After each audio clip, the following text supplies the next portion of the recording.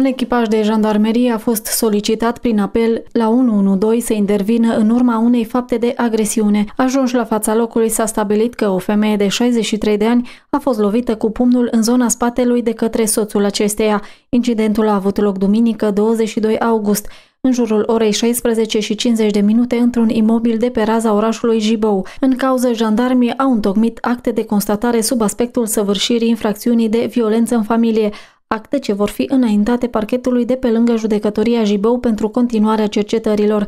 De asemenea, la solicitarea victimei, poliția orașului Jibou a emis un ordin de protecție provizoriu. La o altă faptă, un echipaj de jandarmerie a fost solicitat prin apel la 112 să intervine în urma dispariției unei sume de bani dintr-un imobil. Persoana vătămată a reușit să furnizeze echipajului detalii minimale referitoare la făptuitor.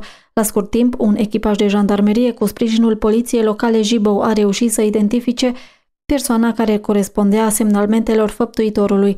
În urma verificărilor s-a stabilit că persoana în cauză, un tânăr de 16 ani, a pătruns fără drept într-un imobil de pe raza orașului Jibou, de unde a sustras suma de 200 de lei. Incidentul a avut loc duminică 22 august anul curent, în jurul orei 18. În cauză, jandarmii au întocmit acte de constatare sub aspectul săvârșirii infracțiunilor de furt calificat, respectiv violare de domiciliu, acte ce vor fi înaintate parchetului de pe lângă judecătoria Jibou pentru continuarea cercetărilor.